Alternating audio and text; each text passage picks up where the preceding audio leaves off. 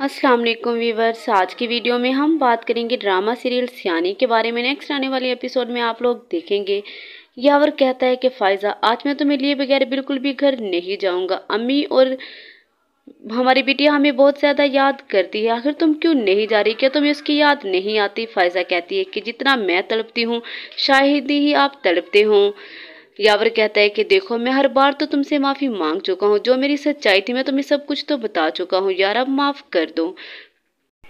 फायजा कहती है कि जिस तरह मैं तड़पी हूँ, मैंने अपनी बेस्ती बर्दाश्त की है, मैं चाहती हूँ आप भी वैसे ही फील करें। उसके बाद मैं घर जाऊँगी। यावर कहता है कि अब तुम क्या चाहती हो? क्या मैं तुम्हारे पाँव पकड़ूं? तुम तब घर जाओगी? फायजा कहती है कि मेरे लिए इतना नीचा गिरने की ज़रूरत नहीं है। नेक्स्ट सीन में आप लोग ये भी देखेंगे, नवीन कहते हैं कि, भाई, भाभी ने फिर क्या कहा? आपको जरबाब कहता है कि, तुम्हारी भाभी ने तो मेरे होश ही उड़ा दिए हैं। मुझे पहले ही पता था कि अब कोई ना कोई धमाकेदार खबर आने वाली है, शमजाद बेगम कहती है कि साफ़ साफ़ बताओ, हुआ क्या है? जरबाब कहता है कि, अम्मी जान, किरण ने ये शर्त रखी है कि ये घर हम सारा उसके नाम करूँ और ये सारे जो मेरे पास बिज़नेस है, वो सारा उसके बच्चों के नाम करूँ, फिर वो हमारे घर आएगी।